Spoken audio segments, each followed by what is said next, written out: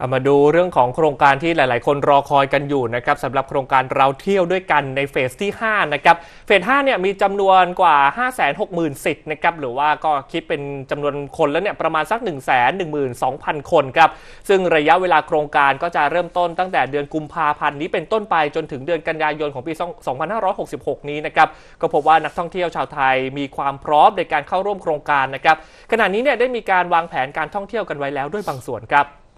ทีมข่าว NBT ของเราก็ลงพื้นที่ไปสำรวจความคิดเห็นของประชาชนในพื้นที่ของกรุงเทพมหานครนะครับ เพราะว่าหลาย ๆ คนเนี่ยเขาก็เคยใช้สิทธิ์กันมาก่อนแล้วนะครับสำหรับโครงการเราเที่ยวด้วยกัน บางคนใช้ครบทุกเฟสตั้งแต่เฟส1ถึงเฟสที่ 5 เลยนะครับ ก็วางแผนการท่องเที่ยวกันไว้แล้วด้วย โดยมองว่าเราเที่ยวด้วยกันนี้เนี่ยช่วยประหยัดค่าใช้จ่ายในการท่องเที่ยวได้มาก อีกทั้งยังเป็นการกระตุ้นการท่องเที่ยวในประเทศได้เพิ่มขึ้นด้วย ก็จะจูงใจให้คนไทยเนี่ยออกมาเดินทางท่องเที่ยวกันมากยิ่งขึ้นนะครับอะไปฟังเสียงประชาชนที่เขาเตรียมพร้อมจะใช้เราเที่ยวด้วยกันกันสักหน่อยครับก็อยากจะใช้อะค่ะ ใช้ใช้ที่ใช้มาแล้วมันเป็นยังไงบ้างเราได้ลดค่าใช้จ่าย มันก็ลดไงคะลดค่าที่พักโรงแรมอะไรอย่างเงี้ยค่ะ ก็ก็ดีอะค่ะ แล้วเอ่อโครงการ 5 มาเฟส 5 มาก็วางแผนที่จะใช้อ่าใช่ค่ะ อือฮึแผนจะไปไหนคะก็ในประเทศเนี้ยค่ะภาคใต้อะไรอย่างเงี้ยค่ะ ก็ใช้ช่วงเฟสแรก ๆ ก็ได้ใช้อยู่เออส่วนใหญ่ก็จะใช้ไปเที่ยว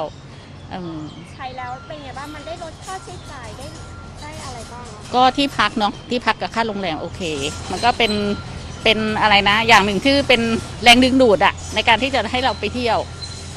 เพราะปกติพี่ก็ชอบเที่ยวอยู่แล้วเพราะได้อันนี้มาเสริมก็ดี สำหรับโครงการเราเที่ยวด้วยกันในเฟสที่ 5 นี้ครับ แล้วก็จะเปิดให้ประชาชนลงทะเบียนที่เว็บไซต์เราเที่ยวด้วยกัน .com เช่นเคยนะครับ และประชาชนก็จะสามารถเริ่มใช้สิทธิ์ได้ตั้งแต่กุมภาพันธ์จนถึงกันยายนของปี 2566 นี้นะครับ ซึ่งคราวนี้ได้อะไรบ้าง ภาครัฐจะสนับสนุนค่าใช้จ่าย 2 ส่วนด้วยกัน ก็คือส่วนแรกสนับสนุนค่าที่พัก